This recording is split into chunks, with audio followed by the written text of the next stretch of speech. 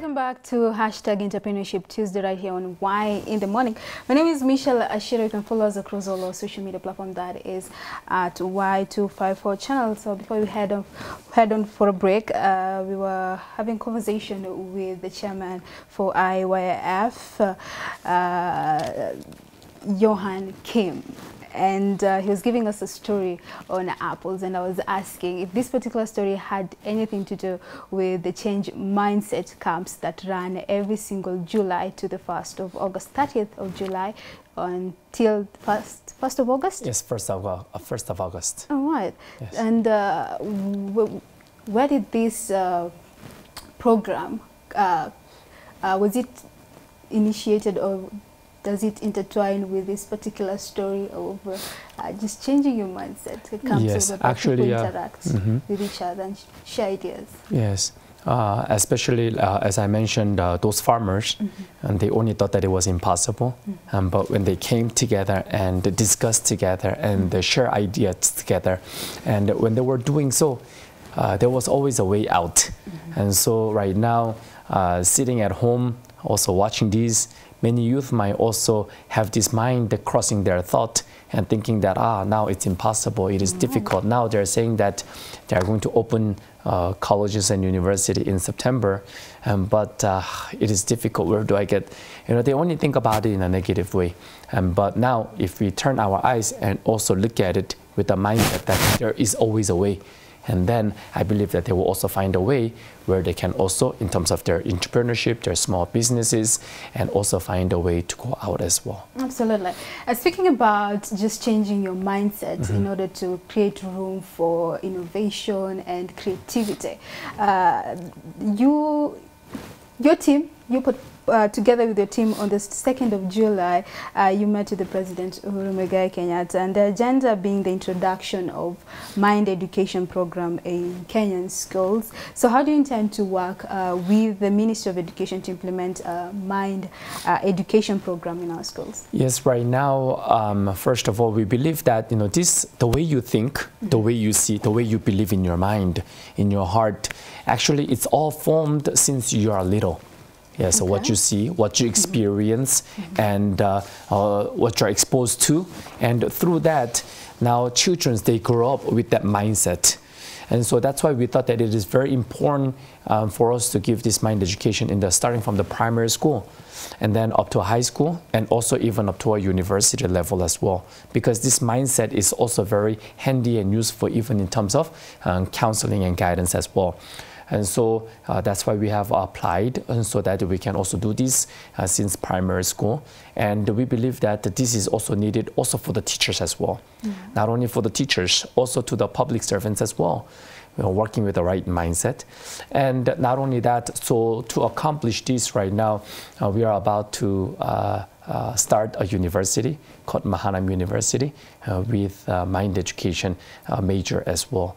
And so in terms of education, we are uh, pushing it that way.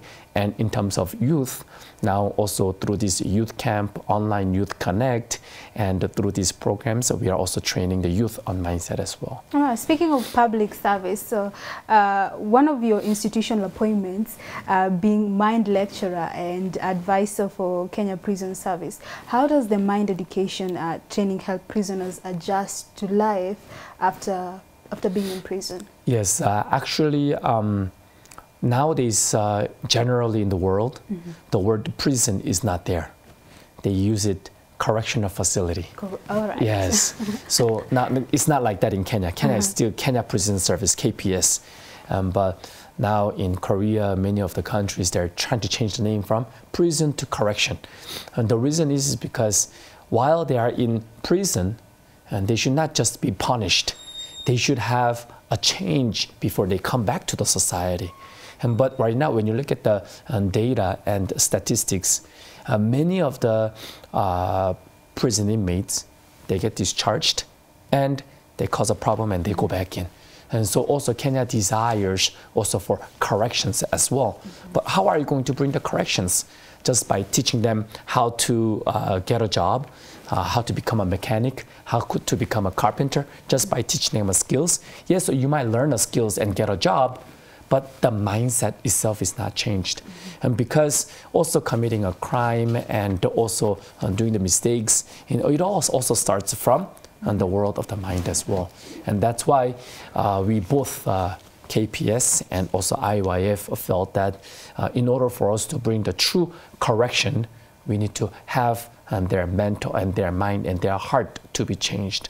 And that's why uh, we made an MOU and now we are doing the mindset training in the prisons as well. All right. What does the mindset training entail? Does it also go to practical solutions when it comes to the economy, uh, whereby the, when these particular uh, inmates from correction facilities uh -huh. come back to the society and they want to start up something just to, to fend for for themselves and also their family. Uh, does this particular training program also offer like business advices uh, and, and, also training mm. in which they can partake into? Yes, uh, right now there is no specific program and that we are doing outside. Okay. Um, but right now uh, we are planning for uh, making a, a half away home. Half away home, I'm sorry for that. Half away home is a program uh, whereby uh, now prison inmates, when they come out of the prison, now uh, they're, go they're going through a lot of difficulties. They don't have a place where they can adjust themselves, mm -hmm. and uh, they don't. They're also rejected by their uh, families as well. Yes, that's why we create a halfway home where they can come and that they can also adjust themselves in that place. And when they come to that halfway home, we also have like academies where they can learn uh, how to do business and also this, uh, uh, their skills and trainings and in that way. All right. So 30th uh, July is mm -hmm. just couple of few days. Yes, yes. so uh, the mindset education comes uh, yearly uh -huh. uh, from, uh, you said earlier, 30th? Yes, yes. To 30th uh, of uh, July until the 1st of August. All right, so what's always the motive of the trainers as they meet their students during the mindset change camp? Yes, especially as the title goes, mm -hmm. IYF World Youth Connect. And so uh, through this program, we really wanted the whole world youth to connect together. Mm -hmm. And because we believe that you can't succeed just by yourself alone. Mm -hmm. Yes, also for the broader uh, horizon and mm -hmm. also for the success and the happiness of your life, we believe that this connection is also very important. And so that's why uh, we have organized this camp um, for the purpose of having the youth to be connected together. All right. So for this will be our last question. Why should the youth be part of the 2020 Online Youth Connect? And uh, yes, especially what impact will it be mm -hmm. to them? Yes, especially uh, through this program. Uh, first of all, the most important thing, they will uh, they will uh, for sure bring the change of the mindset. Mm -hmm. And number two, they will have a connection with many youth around the world. And uh, through that, they can interact, they can meet, and uh, through this, I hope they can be connected together, and so that also uh, they can, you never know, um, visit Europe and visit Asia, and also invite them to your homes and make friends as well. Uh, I am also here together with my uh, friend here, mm. and we've met uh, through this IYF program about eight years ago. And until today, uh, we are working together, we are friends.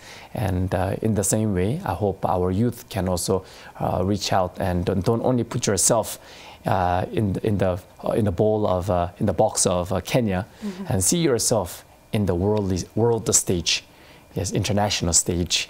Yes, and then I think you have many opportunities as well.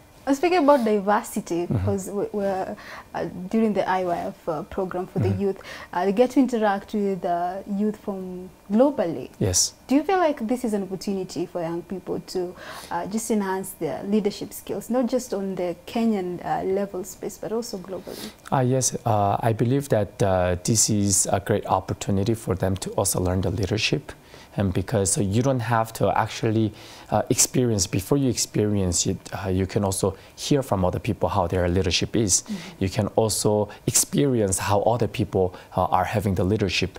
And uh, many people you know as we were organizing this uh, we were able to realize the way european youth think the way kenyan youth thinks are so different.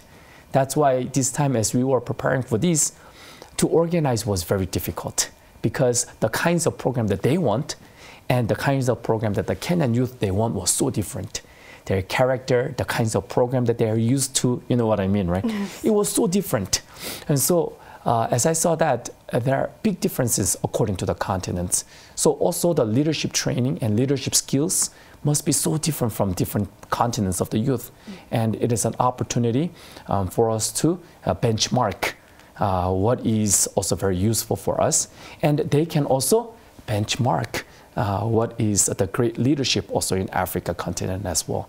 Yeah. Yes. And just to wind up, uh, for the young person who's watching this, and uh, when we started this conversation, we said like the person who is qualified is just being a youth, being Yes. a young person, uh, full of dreams and ambition. So going back to how can they get uh, be, how can they get to be part of IYF program, which is starting on 30th of July uh, till 1st of August, Mhm. and uh, yeah, how can they just get to be part of this particular program? Yes, uh, the best way is uh, for them to reach out to IYF Kenya on Facebook. If you come to the Facebook, right now we are also having the talent show going around. Uh, uh, close to 300 teams they also participated in this talent show, and so you can see also many talents of the youth. And not only that, you will also see many advertisement and also posters on how you can join. Uh, it's very simple. You can just uh, fill out on the Google form and fill out your name and your information. Then we will give you a group. And then on WhatsApp, we are going to give you, make you a group of about 40 youth in Kenya. And then uh, through that uh, chatting, you know, group uh, meeting, now you will continuously receive information how to log in and how to come in, what time to come in, uh, so that you can join the programs together. And uh, we are doing this in partnership together with uh, National Youth Service, uh, uh, National Youth Council, and also with Ministry of Youth as well. Yeah, so, so uh, once uh, they come and fully participate in all the programs, we take all the we check who participated and who didn't participate.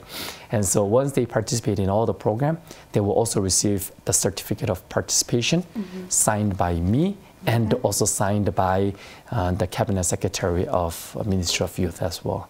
This is an opportunity that young person, wherever you are right now and you're watching this particular conversation, you need to jump into this wagon. And uh, for more information, head to uh, IYF Kenya on their Facebook Yes. page, right? Yes, that's and just correct. and just get be part of this particular uh, mindset changing transformation that you can get into understanding that yourself Mm-hmm. and uh, just venture into any kind of uh, dream that you want to go into if it's business that is uh, this is the right platform uh, platform for you so at Michelle Ashira is where you can find me across all my social media platform at Y254 channel is where you can reach out to us thank you very much Yohan Thank you so much. Yohan Kim for creating time to be with us today Thank you so much. all right, so uh, for now, we'll be going back to a short musical break and we'll be right back with another interview.